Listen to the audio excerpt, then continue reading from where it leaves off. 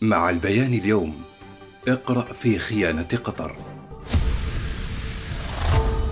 المأزق القطري يتعمق. القاهرة دعوة لطرد قطر من التحالف الدولي ضد الإرهاب. آلاف بين أئمة المساجد والداعمين يجوبون أوروبا في قافلة تفضح الإرهاب القطري. وتقرؤون منى المري لا حياد في الموقف من قطر.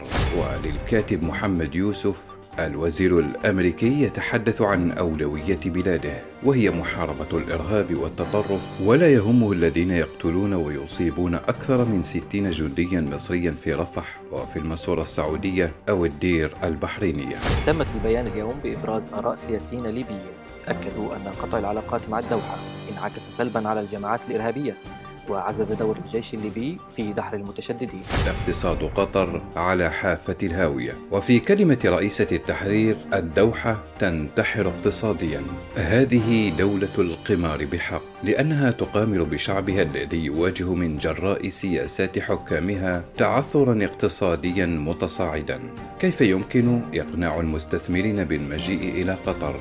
بل عدم الانسحاب منها وسط المخاوف من انقلاب سياسي ومواجهة بين أجنحة الحكم القطري أو حتى تورط الدوحة أكثر في دعم الإرهاب.